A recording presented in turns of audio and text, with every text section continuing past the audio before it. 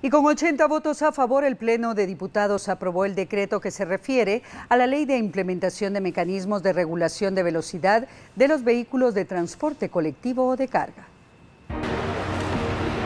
Uno de los aspectos que se espera mejorar es limitar a 80 kilómetros la velocidad del transporte colectivo. De acuerdo con los registros de la Dirección General de Transporte, en este año se han registrado 88 accidentes de tránsito, principalmente en la carretera al occidente. La ley establece que los pilotos del transporte colectivo que se vean involucrados en los accidentes de tránsito serán sancionados con la retención y suspensión de la licencia de un año a dos y una multa de 5 mil a 25 mil quetzales por conducir bajo influencia de bebidas alcohólicas. También se aprobó la modificación al Código Penal respecto a los delitos de homicidio y lesiones culposas.